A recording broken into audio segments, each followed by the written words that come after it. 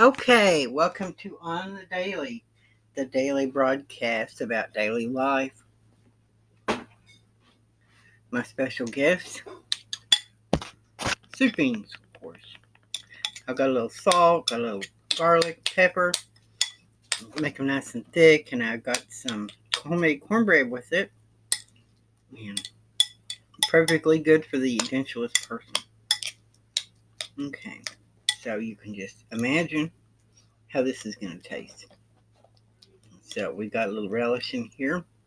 Think about how I make it. Maybe you can try it. Put it in the crock pot. Leave it there overnight. Not too hard.